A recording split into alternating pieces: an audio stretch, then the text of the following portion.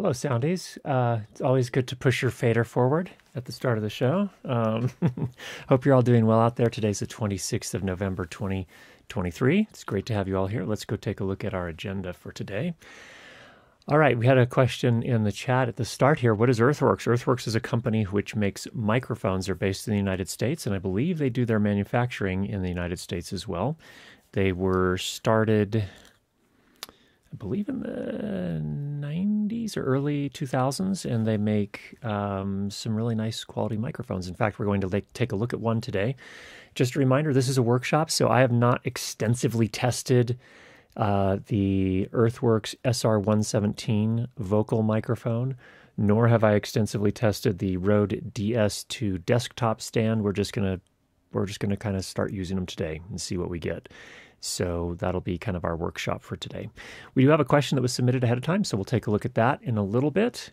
Um, with that, let's go ahead and jump in. So let's switch over first to the Mac and take a look at Earthworks. So if you come to the Earthworks site, oh, also Jazz had a question: Is it time to invest in Earthworks? And I, the answer is, well, first of all, we don't give that kind of a, that kind of investment advice on the channel here, but um, I think they're also privately held. I don't know that you can invest in them necessarily.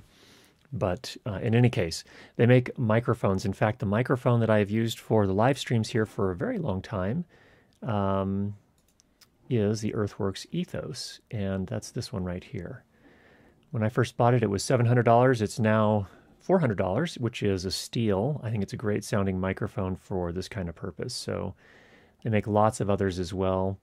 Um, what we're going to look at here today, though, is what is called the SR117. That's this microphone right here. And um, I used to, on my live stream, actually use the SR314, um, also a great sounding microphone, also a vocal microphone. Uh, what that means when they say vocal microphone, typically in this context, they're referring specifically to live sound.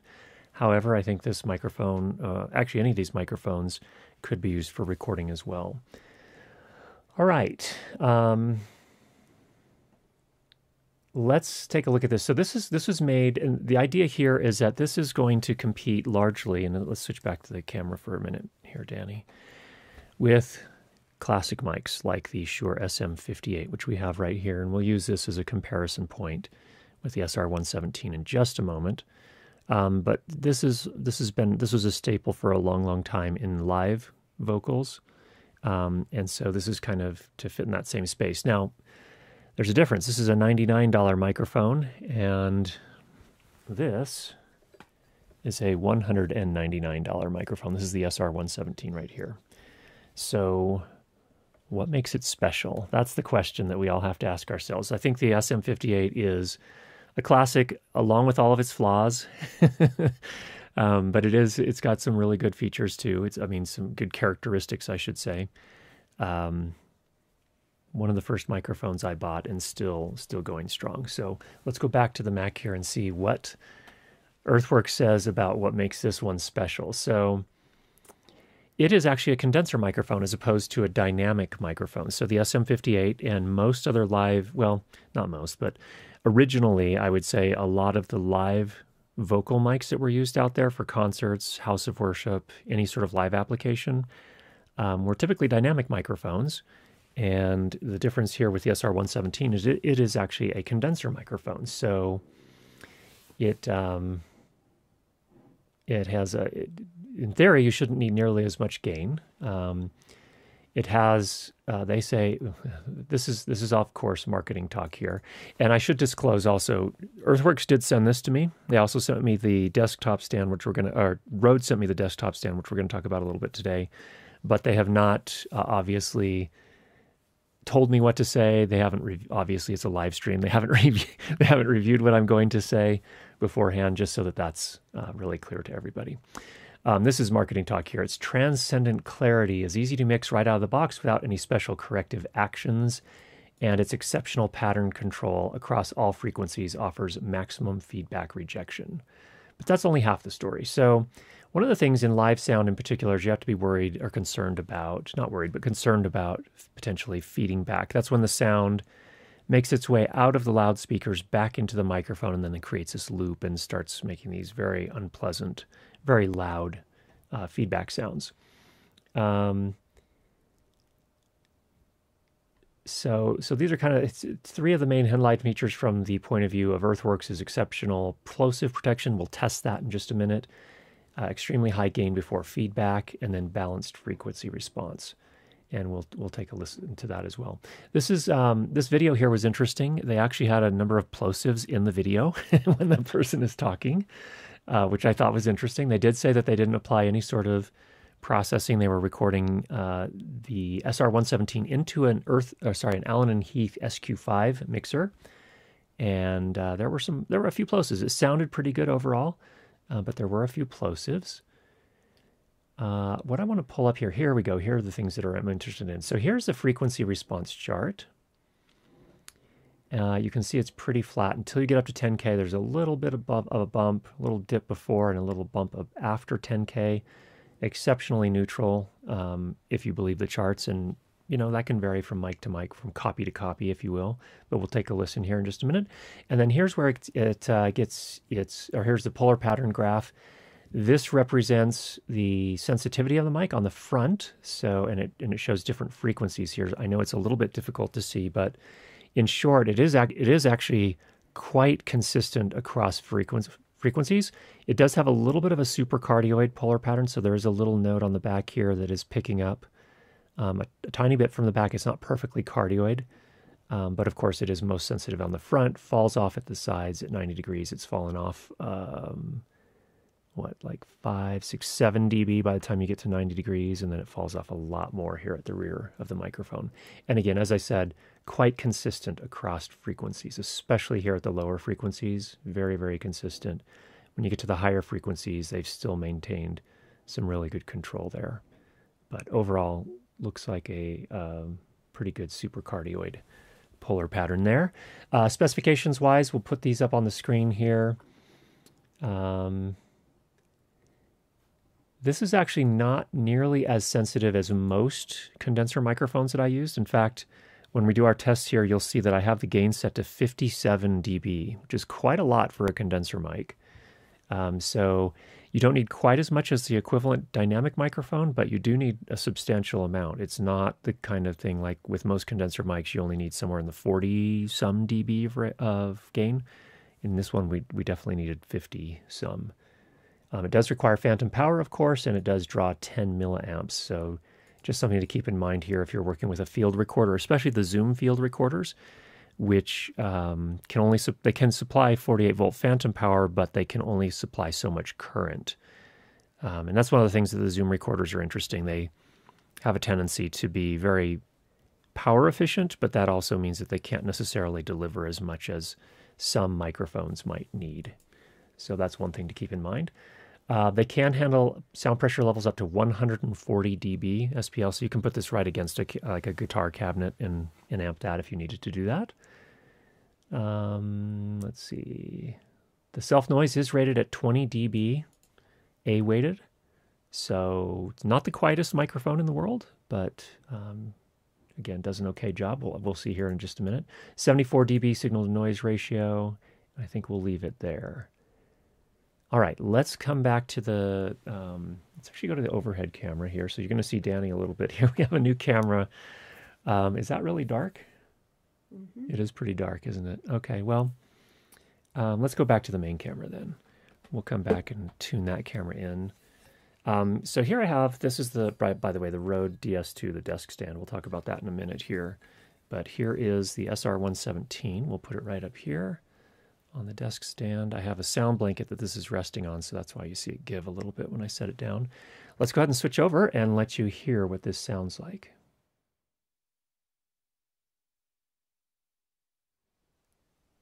Okay, we are now on the Earthworks SR117 right here. I'm probably seven to 10 centimeters off the front of the microphone inside the corner of my mouth, aimed at the corner of my mouth here. And this is what it sounds like. It sounds different than the ethos to my ear. Does it sound more mid rangey to you? Nasally? Yeah, that's. Here's the secret. This probably sounds more like my voice than this does. Is that true? I'm asking Danny. Um, I'm not.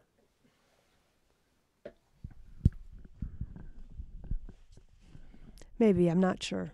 I, I you would have to talk without any amplification. Okay. Okay, back on the SR117 here. So um, I actually think, based on my ear, I think this is actually closer to my actual in person voice. Um, but it does sound, it is more sensitive in the mid range uh, frequency, somewhere maybe around one kilohertz to two kilohertz. It does seem to pick up a bit more of that than this other microphone, the Earthworks Ethos, does on my particular voice. So, um, what that means is that it's pretty neutral sounding, actually. And that may, you, you might be thinking to yourself, well, that's not great, Curtis. it, it, might not be great. It's not necessarily a flattering mic. I think it's uh, pretty neutral. And so I think the idea is that you could use it on lots of voices. You could EQ it a, t- a touch and see where that gets you. So let's pause there. Uh, sounds more crisp, according to Jazz. Okay, good. Uh, will Curtis test it on his drums? We can. We can do. Not today, but uh, here it's cleaner, probably more accurate. Yes.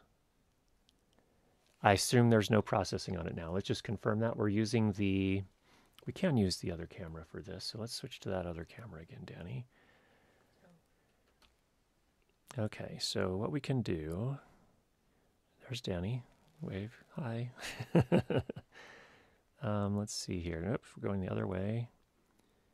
We're going to go over here. And if we, pan, there it is, it's the Mackie DLZ. So we're using the Mackie DLZ today. And we have a little pan tilt zoom camera that we're using for the first time here. So that's what that is. All right, we can switch back to the other camera. All right. Um, all right. I'm I'm uh, trying to get it back to where it needs to be. Okay, there we go. All right, where were we? Um, so let's apply a little bit of EQ and see where we get. So if you'll give me just a moment here, I'm going to move this over. Let's let's actually look at handling noise while we're here. So I'm going to pop this off the stand here. I'm holding the mic. Checking one, two, checking, checking one, two. If you hold it firmly, of course, good. A little bit of noise there as I switched hands. And you can hold it a little farther away, get up a little bit closer. There's definitely, whoa, some proximity effect. So obviously going to be some of that. Let's do a plosive test here. So Peter Piper picked a peck of purple pickled peppers. Peter Piper picked a peck of purple pickled peppers. Did you hear much in the way of plosives? Especially when it was in. When it's in the front, yeah, definitely. Peter Piper picked a peck of purple pickled peppers. One second. Peter Piper picked a peck of purple pickled peppers, so that manages it. So we just put a foam cover on there just to see what that would do. Um, pull that back off.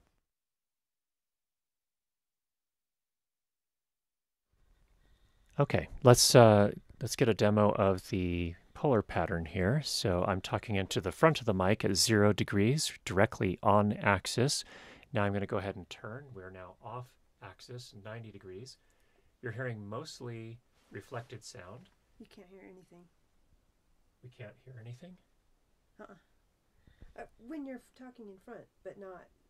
Yeah, that's the idea. Okay. Yeah. No, I'm just saying. Okay.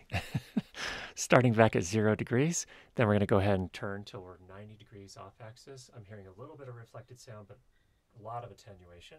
And then coming here to the back of the microphone, talking into the back of the microphone at 180 degrees off axis. Coming back to 90 degrees, here we are at 90 degrees. And now here we are back on axis at zero degrees. So the question that you're looking for here is does it color the sound substantially or does it primarily just attenuate the levels? And to me, that sounded pretty neutral. Didn't sound like it colored the sound a whole lot. So, all right, any any did you have any thoughts? You don't have to. No. No, no, no thoughts at the moment. Okay, let's go ahead and put this mic back up on the stand. I'm going to just see what happens, how it sounds. A little bit of sound, okay.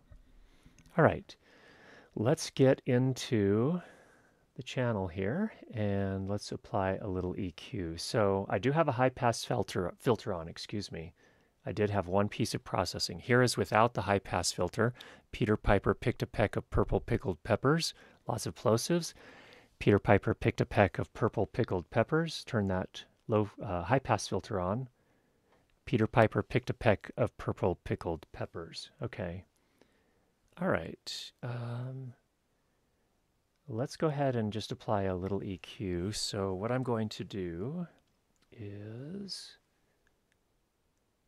we'll go here. We're at one kilohertz and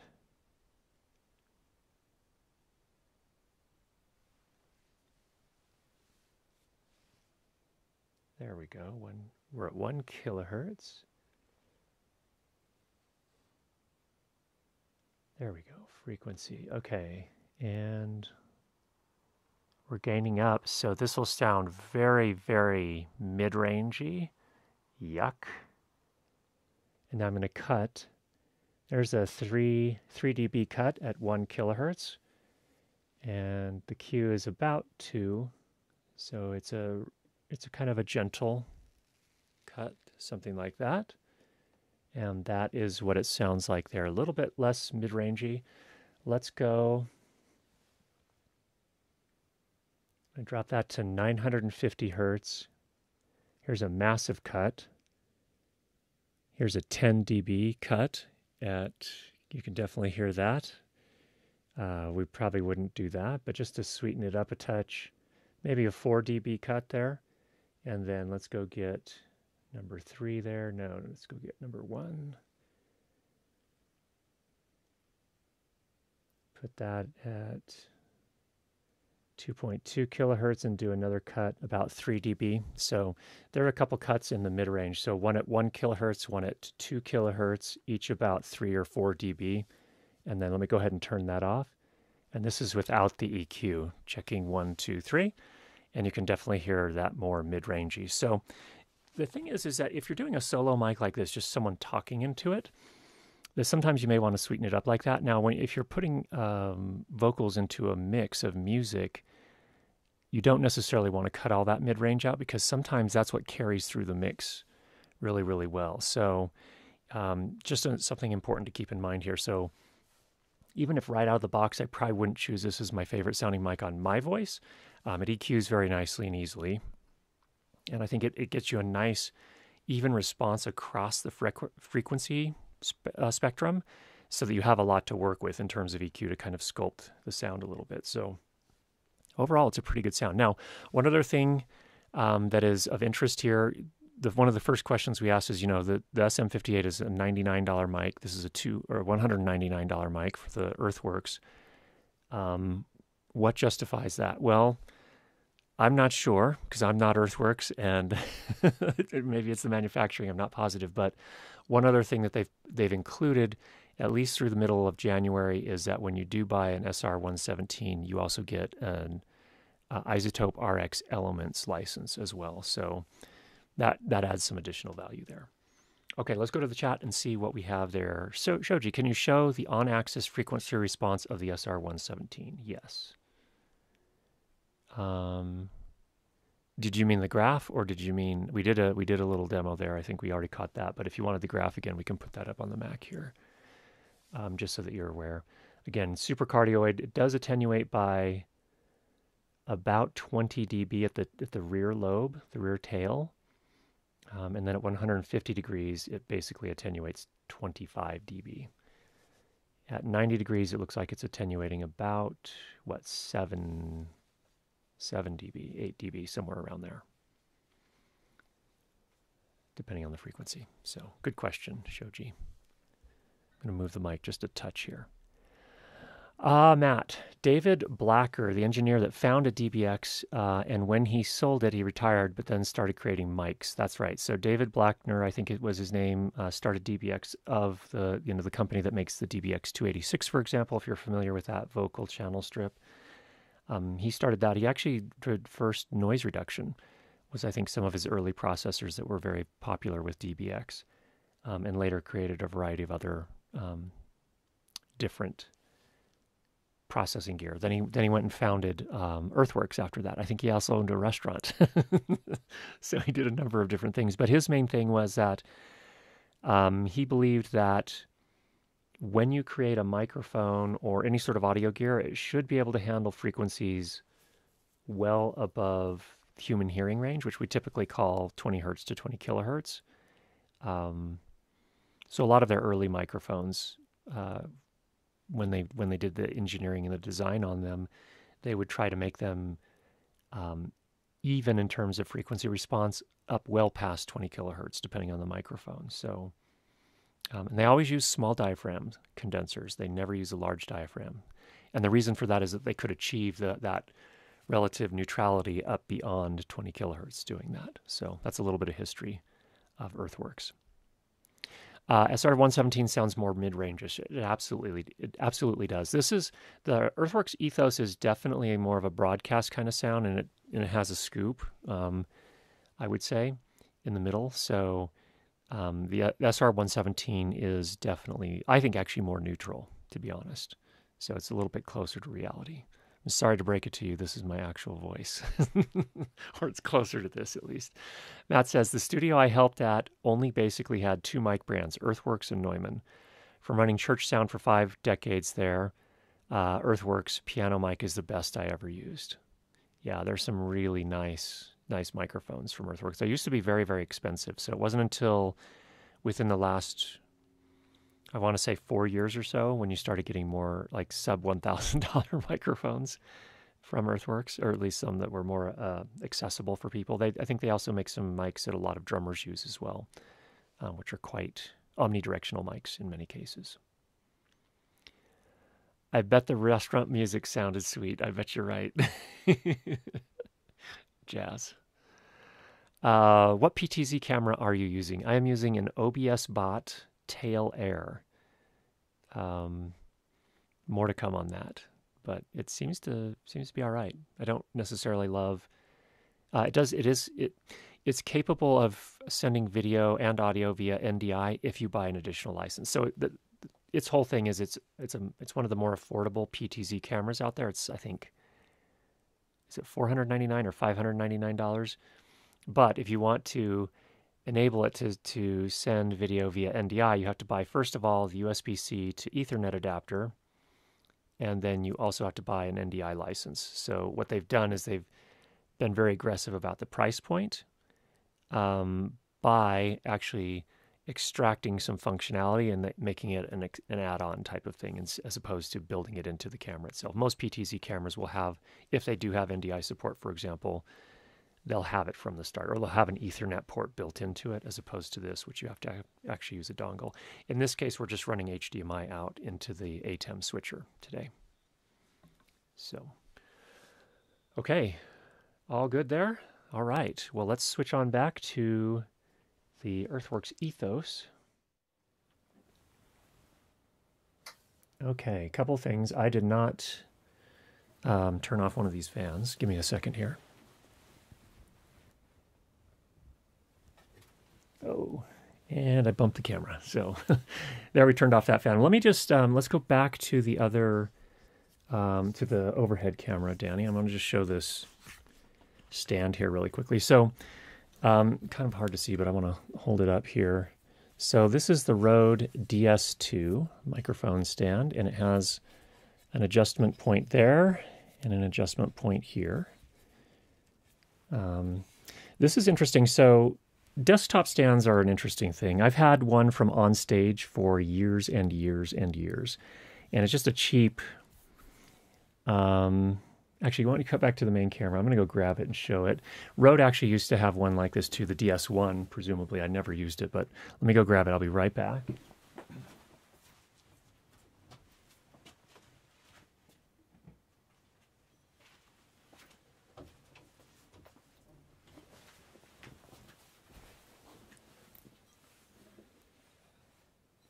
Okay.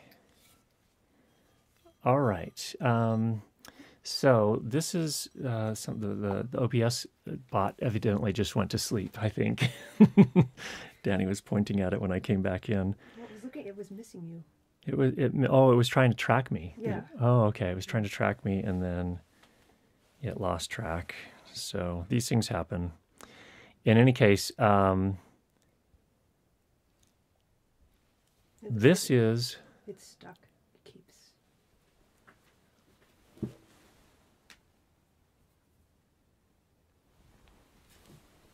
okay. All right. So this, you've seen uh, desk stands like this before. So just kind of a cast iron base, uh, metal stand. You can adjust the height.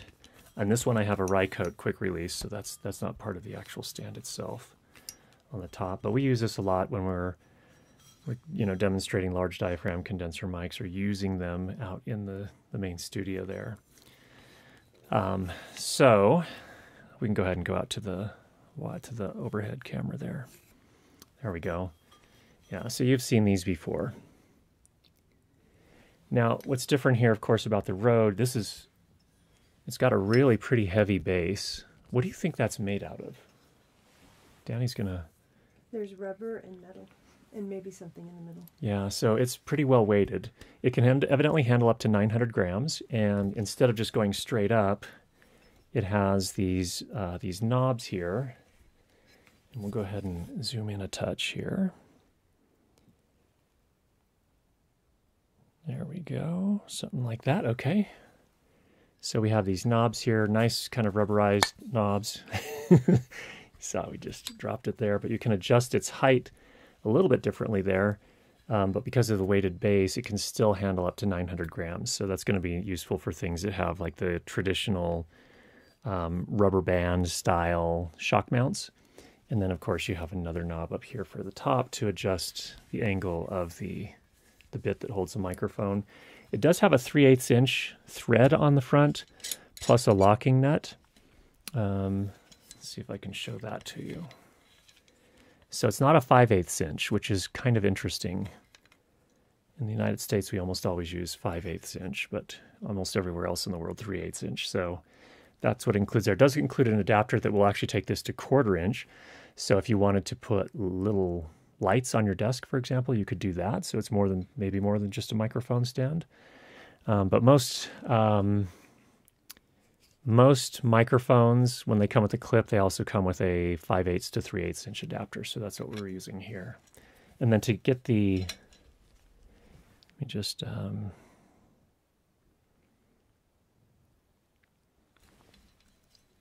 it's not coming down here, but um, so that you can get the clip oriented the right way, what you do is you get it in the general area and then use the locking nut to lock it there.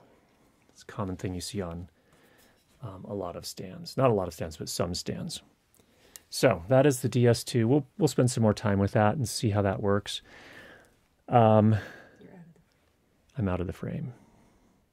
We'll spend some more time with that and see how it works. But overall, looks like a pretty good, th- pretty good deal. I was a little astonished at the price. it is ninety dollars US. Call me a little skeptical. Um, it is really well built, um, but I think a lot of people are going to think twice before spending ninety dollars on a a stand like that. I don't know. We'll we'll give it a try and see. These, for example, I think you can get for about twenty dollars. Um, it's angle. not, but the problem they don't angle, and the, the reality is, is that the base. Um, this one, you'll note, they're using physics in their favor. The the arm that comes up from the base is located at the back, so you get some additional leverage there. The problem I've had with this and using any sort of microphone with a traditional shock mount, like a large diaphragm condenser mic, um, is this thing just will tip right over. So I have to put additional weight on the base to make it hold those.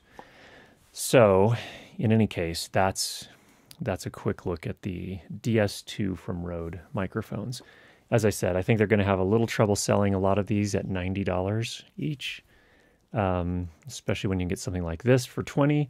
Just because a lot of people don't realize until they get the microphone stand home that let's go ahead and switch to the main camera that the um, you know that this is going to tip over, even with its cast iron base. So, in any case, one other thing I'd like to try really quickly is I'm going to go ahead and connect the SR317, or put the SR317 or 117 back on here. Sorry, I was getting confused there with the SR314, the Earthworks mic I used to use. And this, okay, so let's do that. And let me switch back over to this. Okay, we're back on the SR117. You can hear that okay? Yep. Let me bump this down. So I'm going to touch it down here at the bottom. Ooh.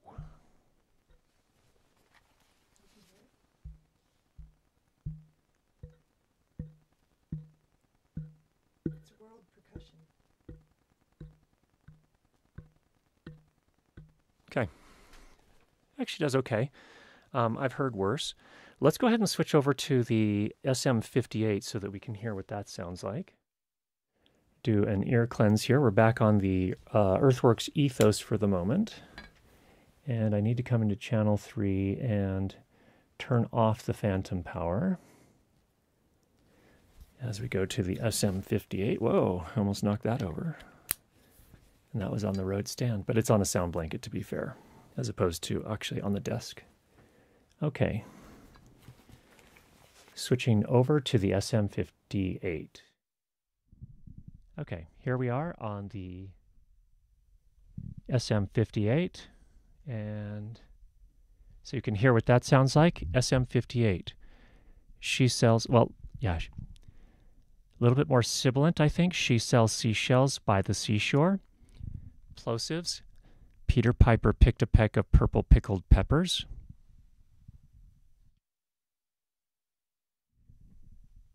Peter Piper picked a peck of purple pickled peppers. That seems to manage some of the sibilants as well. She sells seashells by the seashore, a little bit. And then polar pattern wise, here I'm talking into the front of the microphone. And we're at 60. Let me see here. 62 dB of gain. So talking into the front of the microphone, let's go ahead and turn off to 90 degrees off axis so that it has attenuated the sound quite a bit. And then here we are talking 180 degrees off axis into the back of the microphone. And we're back at 90 degrees off axis and then back at the front of the microphone at zero degrees. So there's some comparison with the Shure SM58 and the SR117 from Earthworks. Okay, back on the ethos again. So curious what people heard there in terms of differences of the SM58 versus the SR117 and what people's thoughts are. I think, um, I think for a lot of voices without any EQ, this might sound better, a little bit better. It has a different, it has more character to it for sure, um, but it is probably also less neutral. I would say. So I'm going to go ahead and this mic is not what I'm talking into at the moment. What do people have out in the chat there to say? Uh, Rode looks like a really nice desktop stand. Does I think it's it's the price is going to be tricky. it does seem like a nice stand. This is talking about the joints. It also keeps the stand out of your way. That's true. I agree with that mashup. So I do I do like it. Don't get me wrong. I think it's that Rode is just going to have a little bit of trouble convincing people that it's worth ninety dollars. Um, for those that have a little bit more to spend, from my point of view, just from what I've experienced so far, definitely worth the additional cost. Um, but that's a that's a lot of additional cost versus a twenty dollar stand. I think people are still. In. Oh, okay, all right. Let's go uh, back to our agenda here. We'll take a look at the question that was submitted ahead of time. This will be an interesting one. So we're going into the production sound world now. Um, Philip says, I'm in the market for a new recorder, and I was wondering, now that the Plus 4 plugin, the XL AES, and some decent third party fader options have been available for the 833 for some time, would you get the 888 again, or would you perhaps choose the 833 if you were deciding on a new recorder today? I, for my part, will be going with the 833 since I feel that it is a smaller that its smaller size makes more sense for my kind of work and 12 ISOs are plenty channels for any scenario I see myself working in. I also won't be needing Dante and more than the 833's six outputs. So, are the reasons which steered you towards the 888 still valid? Philip asks. Well, um, first of all, nobody cares what Curtis does, really. Nobody should care too deeply about what Curtis does in terms of choosing an 888 versus an 833. But I think I understand your point, Philip. The 833 has become more capable over time now that they've released additional things. So you can add, so there are now some, you, you can use um, more inputs, um, and AES has AES capabilities. Um, you've got all the plugins that the 888 has. The only thing you don't have really is Dante. Um, I don't think you can't use the. I don't. I can't remember if the um, the big control surface that Sound Devices makes. I know it works with the Scorpio and 888. I don't remember if it will work for the 833. It's kind of overkill for the 833 to be honest. But there are some third party controllers or control surfaces that you can use. Um, incidentally, Philip, we use the 833 at my day job at work in our in our studio. So um, if I bought it again, when I bought the 888 um, one of the big things I did want was Dante, and early in the pandemic, I actually did use it some um, with Dante. So if I were to buy again, I probably would. It's also important when I am using it, 99% of the time it's on a cart, not in a bag. If I was in a bag most of the time, I'd probably opt for an 833. The 888 is pretty big, pretty heavy um, relative to the 833. So um, it's not that I necessarily need a lot of channels, but I do need, I did want that Dante. So that was the big thing that, that kind of moved me that direction. And then for our studio, the 833 is plenty for what we're doing. We have three, basically a set with three different desks in it, one person at each desk typically. So the 833 does everything we need. So my advocate, I advocate for buying the one that fits your needs the best, and don't don't discount the reality that a bigger recorder, while it has more features, is also quite a bit heavier. so weight matters when you're carrying it around all day long, uh, doing location or production sound with a bag. Um, so I think that's an important consideration. So seems like the 833 will fit your needs nicely. Would it sway my decision at this point? Probably not. I'd probably still go for the 888. But that doesn't mean anyway everyone else should do that too. It just depends on what you're doing. So cool. Okay. Let's go back out to the chat and see what people have going today. Looks like at the start, um, like Keith, you were getting ready for a production job. That's exciting news. Um, I don't know if anyone else has anything, any questions. If you do have questions, go ahead and tag them with at Curtis Judd Audio. That'll make it easy for Danny to find them and we'll take a look and see what you've got. I think some people are fans of Dante. Okay. Not having Dante is a huge issue. It depends on your needs. Depends on your needs, but yeah, I, I agree. That's why I went with the 888. okay, now this is back when you were doing the comparison. Oh, from back when we were comparing the SM58. Sure has a nice out of the box sound. Plosives are worse compared to the Earthworks. The Earthworks is possibly a better tool in the long run for EQ, etc. That's my impression overall as well so far. Again, I haven't worked with it extensively, but um, I felt like that with a with a like if I have to use a microphone on a lot of different voices, that the Earthworks would probably be a, a nice choice because I can EQ it to really kind of tune it in for that particular voice it's using it at a time. But it's it's starting from a neutral place, which is a good place to start. The SM58 is not neutral. Um, it does have a nice low end that's really, really appealing, but what happens in the mids and the and the higher end uh, really depends on the voice, in my mind. Um, so yes, well, if I have to just plunk something down and don't have a chance to EQ it, this might sound a little better. Certainly on my voice, I think the Earthworks is probably a better tool in the long run.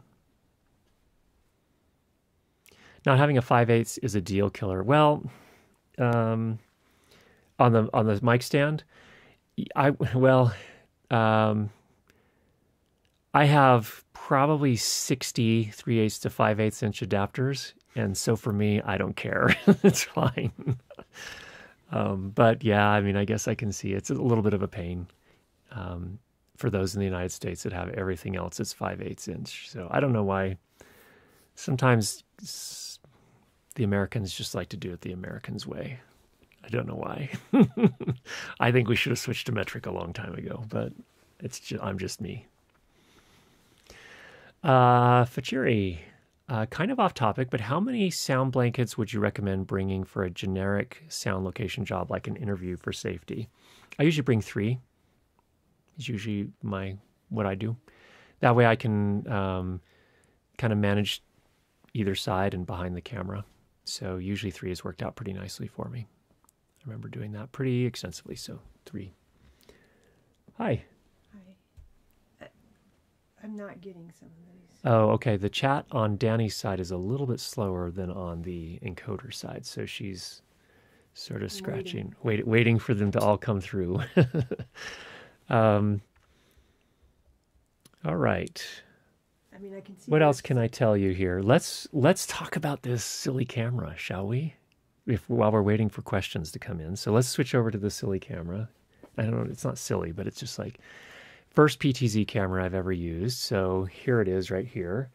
Um, it looks like it's a higher contrast look. So right now it's using quote AI to track me. So I just turned it off. So if I go like this, it will say, okay, you want me to track. So if I move over here, you can see it follows me.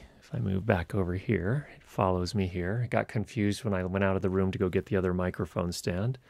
Um, so if you're doing a demo and you need it to track you, that can be helpful. So I can go ahead and turn that off by holding up my hand again. And it has a little tally light that blinks when you engage it or disengage it. Um, you can tell it to, you can use your you can use an app to control it um, to do the pan tilt zoom manually. So if we want to turn over here, we can do that. Um, or we can come back. You can see all the messy stuff in my room there. There we go. You can zoom. So we're at two times zoom right now. We can go wide. Here's wide. Here's Danny over here. You can see. There she is. uh, we can come up nice and close. How much can we zoom? There's 3.7, 4. We can zoom 4, 4 times. So we'll be doing a review of this in the next little bit. The reason I've actually had it for several months, and the reason I haven't reviewed it up until now is that you had to use an app on your phone to upgrade the firmware, and it was only working on Android until recently. So now there's an iOS version. So we just got it updated yesterday or the day before, and now we can use it. You can also have it track different objects. So you can actually use, uh, there's a little thing where you basically draw a box around something and then it will track that. Um, so that's cool. And as I said before, there's a so basically to get it NDI capable, you it's a basically I think a seven hundred dollar, seven hundred dollars. Most PTZ cameras are substantially more expensive than that. It's another seven hundred dollars, or no, seven hundred dollars total. So for the camera plus the Ethernet adapter plus the NDI uh, license, it's seven hundred dollars, six hundred ninety nine dollars. So that's that. Let's go back to the chat, see what we have going there. Yeah, right as you started that, it, they all came in. They all came in. Here they here we go. so all right, we're done camera nerding. Now we're back to sound. And here it comes. Okay, what are your primary microphones that you use on the drum kit? From BB Photo. Well, um, Danny's laughing right now because I have not played my drum kit in probably 10 years. Since I started this YouTube thing, um, I have not even had time to play drums. So back then, I was miking it with, uh, with an SM58 on the bass drum, an SM57 on the snare, and then I put up a couple of room mics. I don't remember. There were some condenser mics. I don't remember which ones. Um, so that's the short answer. Please don't look to me as an expert on miking drums. Miking drums is a serious art. Um, I have a lot of respect for someone who can mic a drum kit really, really well. So I hope to learn someday. Uh, thoughts for a future episode hiding lav mics on talent. It's been a while. Um, we did one, was that earlier this year? Um, but we can do another one. I'm not necessarily super expert there. Again, we haven't been doing as much of that lately. I am looking at um, having Petrushka Mirza come, come on the live stream. Um, she is a boom operator and utility sound technician and has written a couple books on the topic um, maybe we can have her come on and and kind of lead that discussion. It'd be great to have her input on that. She's doing that all day long. When I did my little episode on the main channel about hiding a lavalier microphone under a t-shirt, um, I actually got that. I, I I was clear. I credited her. I got that technique from her book. Um, and I and you know I said, well, it takes a while to do it, and she actually commented on the video and said, oh, it takes me 15 seconds. So, in any case. Um, all right, Curtis probably has enough blankets to make a wigwam. Well, maybe. Sound blankets. Possibly sound blankets. Um, yeah, I kind of, I kind of did make a room. So I've got uh, three sound blankets in essence in the main studio space where we do our recording for the main YouTube channel. So three it is. All right. How do you handle shotgun mic on boom arm that changes location during a shoot and has a different sound?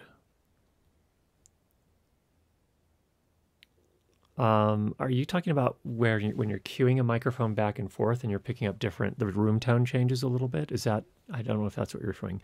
Uh, I found that even a minor, less major change in the mic placement has a big effect on the sound. Yes, definitely, especially if you have a more prominent sound floor or noise floor. Um, aiming the microphone different directions, cueing back and forth can definitely change the sound. So that's where dialogue editors and re-recording mixers have a lot of work to do to get it just right. So um, in post, you just have to. A lot of times, what they'll do is they'll be more aggressive about cutting out the room tone between phrases. Um, they might EQ things to change the noise floor to match a little bit from you know from from cue to cue. So if you're doing a two camera shoot, um, you may have to do some EQ to get those different noise floors sounding more similar, so it's not as obvious that a cut has happened or there's a change in the sound. Um, but they might get more aggressive about cutting out the the the heads and tails off of clips, and then layer in uh, a single source of room tone so that it sounds consistent. Um, so there are a lot of little things like that. It's just tedious, tedious work. You can also use um, dialogue match. Rx has a, that that's a kind of a higher end thing that works in pro tools but that can also help and make things a lot more automated. Okay. Um, i agree that we should have gone to metric but those little adapters uh, slip and they're a pain. That's fair. Uh, fair fair fair. Yep. Nice plant. Thanks. That's bart uh, Bartholomew is his full name. Uh, we think it's a him. We don't even really know. Uh, I don't really know, at least. Um, but in any case, that's Bart, the plant, who adds a little oxygen to the office here. Uh, what's a common use case for Dante at your work? Uh, back when I got the 888, uh, the use case during the pandemic was being able to place microphones in, set them up in a in one room, and then being able to mix from a separate room at the office. That was the main use case for me when I originally bought that. What a jerky zoom for the PTZ camera. Yeah, that was the manual zoom. Yeah, it's not, that wasn't smooth. Um, I need to look more into it. Again, just set it up for the first time. This is the first time I've ever actually used it. So it could be that there's a smoother way to do that. I just haven't found it yet. Can you tell us why Mini XLR is uh, why is Mini XLR not commonly used? It could be a lot handier, I think. Uh, I don't I don't know the answer to that. It is I think part of the thing is that it is harder to use larger gauge cabling with mini XLRs, and therefore it's difficult to do long runs of cable with that. Um, so that's one reason, perhaps. Um, I don't know if they're as easy to solder and, and make on your. I don't really know. I've never, I've never, I've never made a cable with mini XLR connectors. So I've only done it with, with the regular full size XLR connectors. So I think that's the main reason. If I had to guess, it's harder to use the larger gauge cable that you can run for longer distances. So they're fine for short distances and just getting them out, getting audio in or out of a device and then adapting them to the full full size cabling that's easier to keep clean over a longer distance. So by clean I mean less likely to, to have more shielding in it so that it's less likely to pick up as much noise. and electromagnetic and radio frequency interference. Also, probably manufacturing. It's probably easier. Any experience with head worn mics? Uh, tiny, tiny bit. We used them at our last, um, at the Webflow Conf 2023 back in October. All of the talent wore head worn mics. Um, it, it eliminated all of the issues with clothing rustle, which was great. They're obviously much more um, visible. so that is a little cost. But the great thing is, as the person turns their head, they have a lot more freedom to walk around and move without distorting the audio or losing the audio as they turn their head away from a lavalier mic. So you can do it either way, but the head worn mics uh, for presentations like that are a pretty nice choice. I like them. Thank you. You got it. After the live stream, heading out to do what AudioBuff is doing, set up a Christmas concert at one of Nashville's mega churches, 84 wired mics and 12 wireless. Glad I'm not running front of house.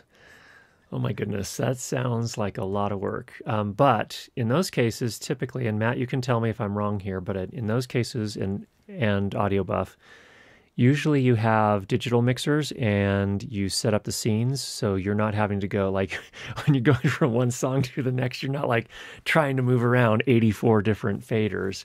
Um, you've actually got them all pre-configured and you can switch scenes and, and so on and so forth. That's my guess and that would be the sane way to work